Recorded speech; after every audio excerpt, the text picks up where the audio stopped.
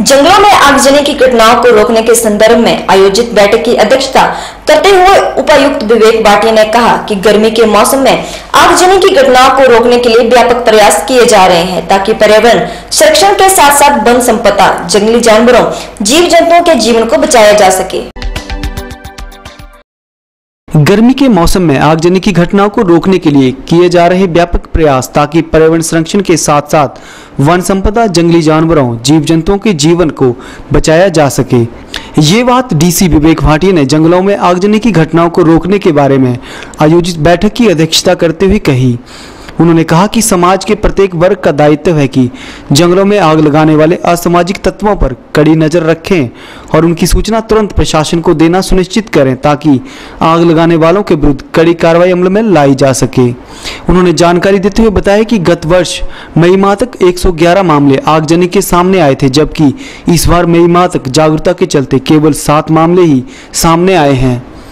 उन्होंने संबंधित अधिकारियों को निर्देश देते हुए कहा कि जिला के उन स्थानों को चिन्हित करना सुनिश्चित बनाए, जहाँ पर पाँच सालों में निरंतर आगजनी के मामले सामने आ रहे हैं। उन्होंने एसडीएम और बीडीओ को निर्देश दिए कि आगामी एक सप्ताह के भीतर बैठक करके लोगों को जागरूक करें। उन्होंने बताया कि आगजनी की घटनाओं पर नियंत्रण रखने के लिए संबंधित विभागों के अतिरिक्त पंचायत प्रतिनिधियों, महिला व युवक मंडलों, स्वयंसेवियों के अलावा स्थानीय लोगों की भी सहभागिता सुनिश्चित बनाए, ताकि आगजनी के दौरान आपसी सहयोग से प्रारंभिक स्तर पर ही काबू पाया जा सके। एक डायरेक्टरी जिला लेवल पे हम बनाएँगे, जिसमें कि वो सबके साथ सर्कुलेट करेंगे, ताकि किसी को भी फ़ोन नंबर में लेने में कोई किसी तरह की कोई परेशानी ना हो।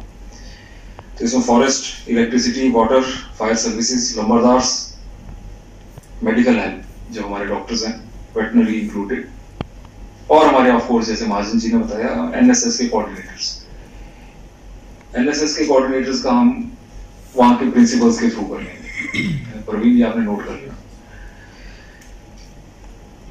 एक जो रेड पंचायत की हमने कही है आप मेरे को आज शाम तक या कल सुबह तक आप मेरे को पाँच साल तक जिसमें लगातार आग लगी जिन पंचायतों में, उनकी मेरे को लिस्ट दें। और इन पंचायतों में जो बीडीओज हैं, और आग्रह रहेगा, अगर एसडीएम्स खुद अगर इसमें ये मीटिंग लें, जिसमें पंचायती राज के हमारे, इनके प्रधान हों, सभी नंबरदार हों, और जो आपके वॉलंटियर्स भी उसमें जाएँ, जिनको आप चिन्हित करेंगे। और साथ में फॉरेस्ट के ऑफिशियल्स भी रहें।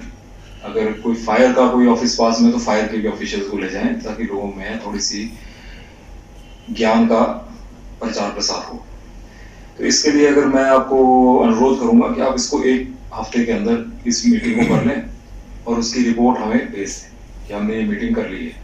और उसका अगर एजेंडा पॉइंट हम यहीं से बना के भेज दें कि इन टॉकिंग पॉइंट्स वो आप इनको मेल करवा दीजिए, आज ही। टॉकिंग पॉइंट्स क्या क्या होंगे। अगर हो सके तो आज की इस मीटिंग का ये हवाला देखिए इसी का डिस्कस कर सकते हैं एक हमने कहा है लेटर हम लिखेंगे गवर्नमेंट को पीनल प्रोविज़न बढ़ाने के लिए। जैसे बहुत साहब ने कहा, एक लेटर लिखेंगे regarding diversion of relief amount for fire resilient infrastructure एक आपके रिचार्ज पॉइंट्स का। रिचार्ज पॉइंट्स के लिए हमने कहा है कि हम नैना देवी में, सदर में, घुमारवी में और जनुता में। चार जगह जो है हम इसका,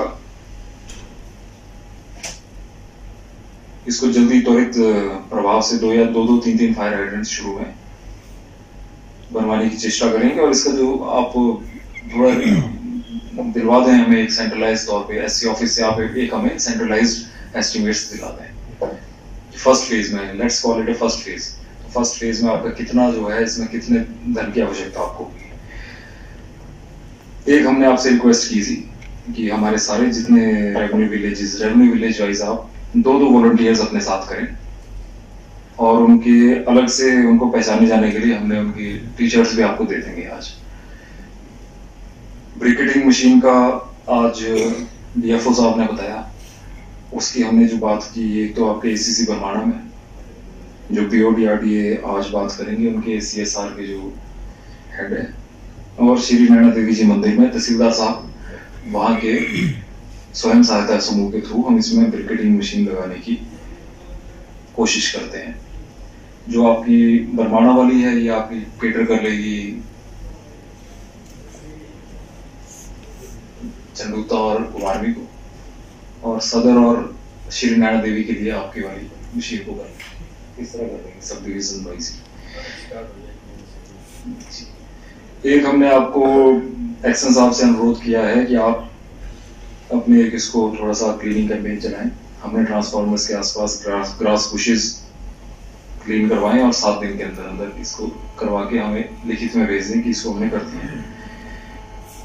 एक फायर अलर्ट सिस्टम के लिए हमने कहा है कि सारे एस डी एम्स और दी बीडीओज फायर ऑफिसर्स और डिजास्टर की जो हमारी टीम है। ये जैसे कि अभी आपको एसीएफ साहब ने बताया, इसके ऊपर ऑनलाइन जाके आप रजिस्टर कर लें अपने अपने मोबाइल से। तो ये हमारे पॉइंट्स थे। डीएफओ सरोज भाई पटेल ने जिला में आगजनी की घटनाओं को लेकर किए जा रहे विशेष प्रबंधों की विस्तृत जानकारी दी। इस मौके पर कमांडेंट अजय बोध, डीआरओ देवीराम, अधिशासी अभियंता विद्युत, M S Guleria, SDM Priyanka Verma, Vikas Sharma ACF Shukla Sharma भी मौजूद रहे।